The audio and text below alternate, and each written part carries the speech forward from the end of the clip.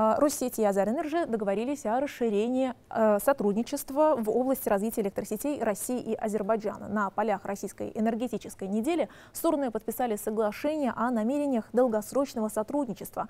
Оно будет нацелено на углубление взаимодействия в эксплуатации и развитии электросетевой инфраструктуры двух стран.